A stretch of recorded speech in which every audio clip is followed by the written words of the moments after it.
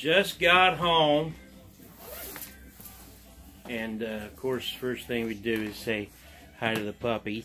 See the puppy? It's this is little Camden Louise. We call her Cammy Lou. Cute as a button, ain't she?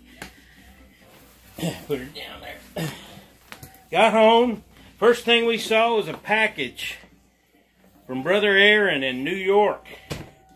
You know, there's some good people out in New York. Let me move back a little bit so you can, don't see as much as me, but Bible believer from New York, Brother Aaron, and I want you to see what I got in here in this little box.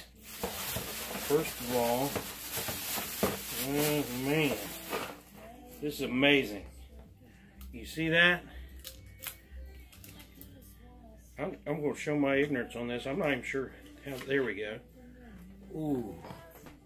Ain't that something? That'll cut something. And, uh, make sure I put it in there right. Oh. But I've, uh, I thought I had it in there right. Let's try it again. There, I'll work on that. And I think that something you can put around your head like so.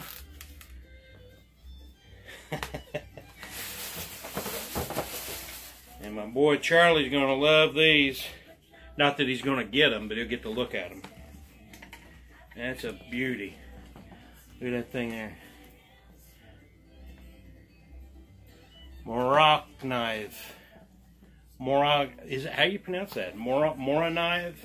Moronive? I know I'm going to sound stupid to people who have these, but uh, this is nice.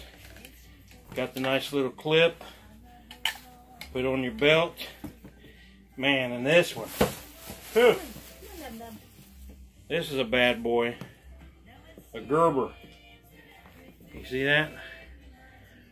Sideways there it is. You can see it that way. Isn't that something? One out of there. Ho, ho, ho. What we need is a big old dare. What we need.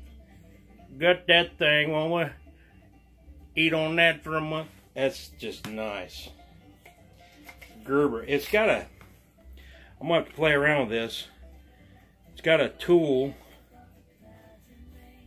Just beautiful. Just amazing. I'll play around with these. And I don't mean play around in a, a careless way. My wife will make sure I behave myself. Won't you, honey? Yes, sir. So thank you very much, Aaron. I just wanted you to know we got those. And uh, we will put them to good use. Just telling Charlie tonight I needed a new knife. And uh, that's quite uh, timing. Thank you, brother. Really appreciate it.